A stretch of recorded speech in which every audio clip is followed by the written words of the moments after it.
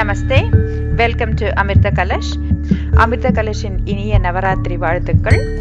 நவராத்திரின்னு சொன்னாலே சந்தோஷம் கொண்டாட்டம் அப்படின்னு ஒரே திருவிழா கோலம்தான் இது ஒரு முக்கியமான ஹிந்து ஃபெஸ்டிவல் இது ஒரு அருமையான சந்தர்ப்பம். ஃபேமிலி ஃப்ரெண்ட்ஸு எல்லாரையும் வீட்டுக்கு இன்வைட் பண்ணி கொண்டாடுறதுக்கு. இந்த சந்தர்ப்பத்தை நம்ம எப்பயுமே நழுவ விடாம மகிழ்ச்சியா கொண்டாடணும். நவராத்திரிங்கிறது ஒரு அழகான சமஸ்கிருத வார்த்தை. இந்த ஒன்பது நாட்கள் கொண்டாட்டமும் நம்ம துர்க்கை அம்மனை துர்க்கை அம்மனுடைய விதவிதமான வடிவங்களை அவதாரங்களை போற்றி சந்தோஷமா கொண்டாடிய வேண்டிய ஒரு பண்டிகை இது. ஏன் நம்ம நவராத்திரியை கொண்டாடுறோம்? அதோடைய தாத்பரியம் என்ன? அதுக்கு ஒரு அழகான ஒரு கதை இருக்கு. சுமார் ஐயாயிரம் வருஷங்களுக்கு முன்பு ஒரு மகிஷாசுரன்னு ஒரு பெரிய அரக்கன் இருந்தான். அவன் அவனுக்கு என்ன நினைப்புன்னா அவன்தான் பவர்ஃபுல் அவன்தான் இந்த உலகத்தையே ஆளணும். அதனால என்ன பண்றான்? பிரம்மனை நோக்கி கடும் தவம் பல வருஷங்கள் கடும் தவத்துல இருக்கான். அவனுடைய கடும் தவத்தை பார்த்துட்டு பிரம்மன் ரொம்ப மகிழ்ந்து போய் அவன் முன்னாடி தோன்றார். தோன்றி மகிஷாசுரா உனக்கு என்ன வரம் வேண்டும்? அப்படின்னு கேக்குறார். அதுக்கு மகிஷாசுரன் சொல்றான் எனக்கு சாவுங்கிறதே வரக்கூடாது. அந்த மாதிரியான எனக்கு வரம் கொடு. அப்படின்னு சொல்லி பிரம்மனை நோக்கி கேட்கிறான். பிரம்மன் சொல்றான் மகிஷா யார் இந்த உலகத்துல பிறந்தாலும் அவர்கள் இறந்தே ஆக வேணுங்கிறது உலகத்துடைய நியதி. அதை என்னால ஒண்ணும் பண்ண முடியாது. அது அந்த வரத்தை என்னால கொடுக்க முடியாது. நீ வேற ஏதாவது கேளு. அப்படின்னு பிரம்மதேவன் மகிஷாசுரன்ட்ட சொல்றார். மகிஷாசுரன் கொஞ்ச நேரம் யோசிக்கிறான். என்ன கேட்கலாம்? ஓ அப்படியா? அப்படின்னா கடவுளே எனக்கு வந்து ஒரு பெண்ணால தான் சாவு வரணுங்கிற வரத்தை எனக்கு கொடு அப்படின்னு பிரம்மாவும் என்ன பண்றார்? ஓகே தந்தையன் வரத்தை அப்படின்னு சொல்லிட்டு மறைஞ்சு போயிடுறாரு. மகிஷாசுரன் நினைக்கிறான் ஆஃப்டர் ஆல் ஒரு பொண்ணு போய் என்ன கால் கொல்ல முடியுமா? அது கண்டிப்பாக முடியாத காரியம் அண்டு நடக்காத காரியம். அப்படின்னு நினச்சிட்டு அவனுக்கு ரொம்ப கர்வம் தலைக்கு ஏறிடுறது. நான் தான் இந்த உலகத்திலேயே மிகப்பெரிய பலசாலி.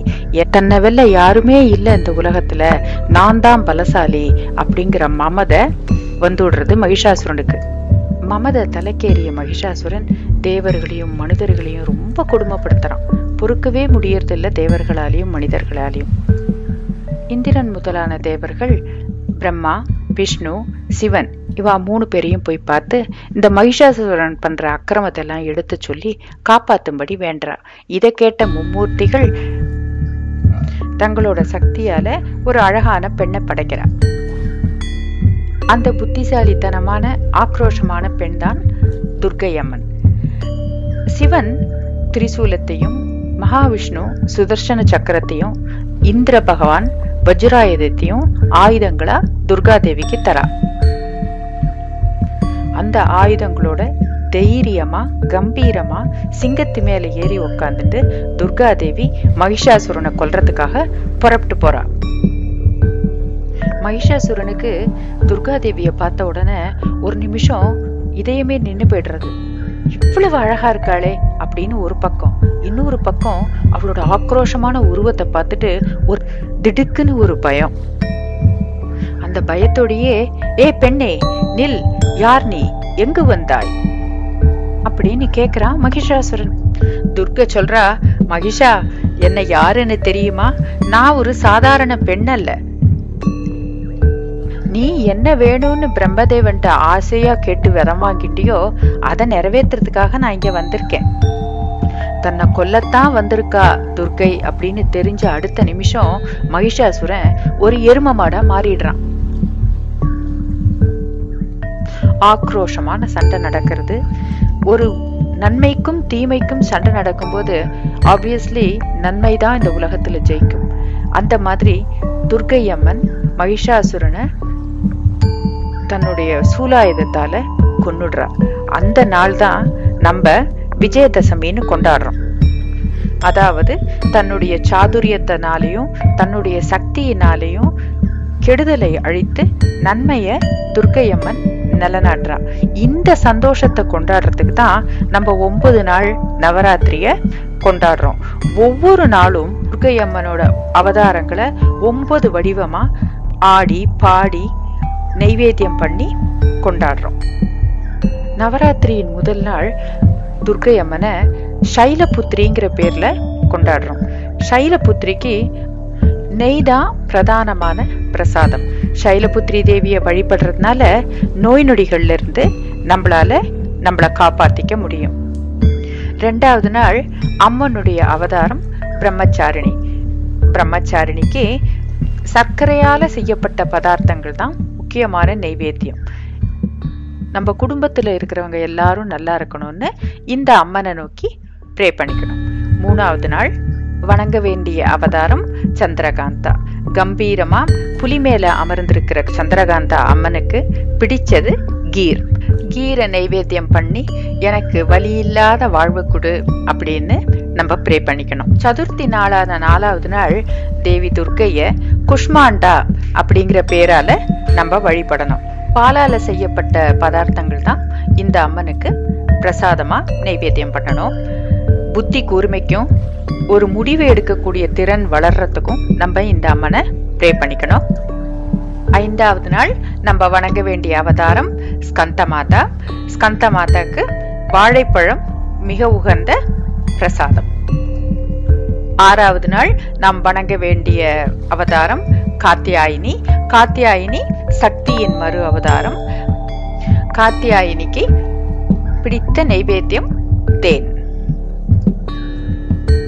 நவராத்திரியின் ஏழாவது நாளான சப்தமி அன்னைக்கு நம்ம வணங்க வேண்டிய அவதாரம் காலராத்திரி. கருப்பு உருவத்தை கொண்ட காலராத்திரி அம்மனுக்கு நம்ம பிரசாதமா கொடுக்க வேண்டியது வெல்லம் காலராத்திரி அவதாரத்தை மனமுருகி வணங்கினா நமக்கு வரும் தடைகள் நம்மளுடைய கவலைகள் எல்லாம் பறந்து நல்ல சந்தோஷமான ஒரு வாழ்க்கையை பெறலாம். எட்டாவது நாள் துர்காஷ்டமி. அன்னைக்கு நம்ம வணங்க வேண்டிய அவதாரம் மகாகௌரி. மகாகௌரிக்கு பிடிச்ச பிரசாதம் தேங்காய். கடைசி நாளான ஒன்பதாவது நாள் நம்ம வணங்க வேண்டிய அவதாரம் சித்திதாத்ரி. இந்த அம்மனுக்கு நம்ம எல்லாலான பதார்த்தங்களை நைவேத்தியம் பண்ணலாம். இந்த அம்மனை நம்ம மனமுருகி வணங்கினோம்னா நம்மள இயற்கை பேரழிவுல இருந்து காப்பாத்தி நம்ம கூடவே எப்பவுமே இருப்பாங்கிறது ஐதீகம். நாம ஏன் நவராத்திரி கொண்டாடுறோம். அதோடைய இம்பார்ட்டன்ஸ் என்னங்கிறத இவ்வளவு நேரம் பார்த்தோம். அம்மனுடைய ஒன்பது அவதாரங்கள் என்ன?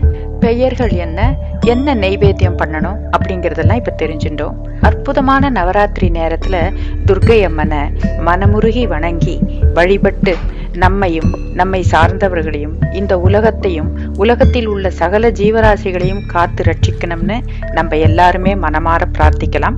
இன்றைக்கு உலகமே மிகப்பெரிய சவாலை எதிர்கொண்டிருக்கு. இந்த கஷ்டமான நேரத்துல தாயே எங்களை காப்பாற்றுன்னு தீமைகளை அழித்து நன்மைகளை கொடுக்கும் வரப்பிரசாதியான துர்கை அம்மனை வழிபடலாம். இந்த வீடியோ ஒரு இன்ஃபர்மேட்டிவ் வீடியோவாக இருக்கும்னு நான் நம்புகிறேன் கண்டிப்பாக உங்களுக்கு எல்லாம் பிடிச்சிருக்கும். இன்னும் சப்ஸ்கிரைப் பண்ணாதவங்க எங்கள் சேனலை சப்ஸ்கிரைப் பண்ணுங்கள் இன்னும் ஒரு இன்ட்ரெஸ்டிங்கான வீடியோவோட மீண்டும் உங்களை சந்திக்கிறேன். நன்றி வணக்கம்.